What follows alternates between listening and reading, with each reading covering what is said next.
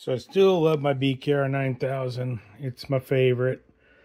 Um, but I noticed after charging it full uh, charge cycles, it uh, started the battery started reporting low uh, hours left, and the the milliamp hour estimate was super low. So anyway, I uh, sent an email, reported the problem to BK.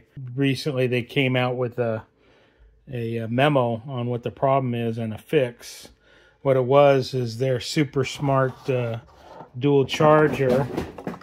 Um, it uh, has firmware in it, and so I had to send it back. I did flash the firmware on it. It's got little pads inside. Of course, I took mine apart and looked. 3.0.16 firmware is supposed to correct the problem. And um, so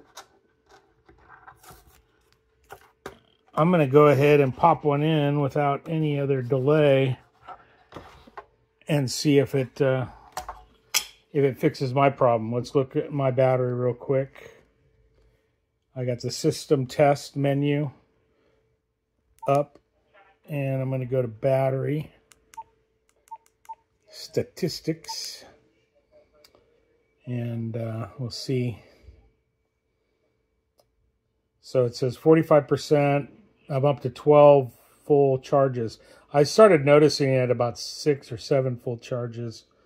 Um, it dropping down where it was reporting, you know, really low milliamp hour. That should be 4900. Anyway, let's uh, pop it in and see if uh, this will program the battery. The batteries are smarts, and the batteries are the BKR 9000 batteries. They're the BKR 102, 0102, and uh, from beginning of production till January. There's a number on them too, and I'll after we do this, I'll, I'll pop the battery off. But uh, I'll go ahead and shut the radio off, and you have to pump pop it in the back um, slot, and the the lights are supposed to do some blinking here. And it only takes about 10 seconds, supposedly. Okay, we're back to solid. So I think it programmed it. we'll uh, pop it up in the front one.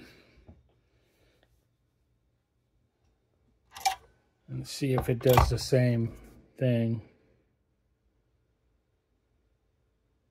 Yeah, it only blinked about three or four times on that. Let's see if it programmed it. Look at that. 80%, 39, 14. And now it's estimating over 16 hours. So, hooray! Yes, the affected ones will have um, right here V SAM Rev 5. And it's a BKR 102 for the BKR 9000, which has different tabs on the top. I think that's it for now service bulletin a link. Sometimes YouTube likes to nuke the link or actually nuke the whole video. So hopefully they won't do that. But look at that, it's charging. These were fully charged when I uh, when I sent them back. Oh, real quick, since we're talking about the charging cup, um, the the five thousands will fit in here too and charge. There it goes. It's done. And um, it's just the, the bottom tabs are different on the bottom of the radio.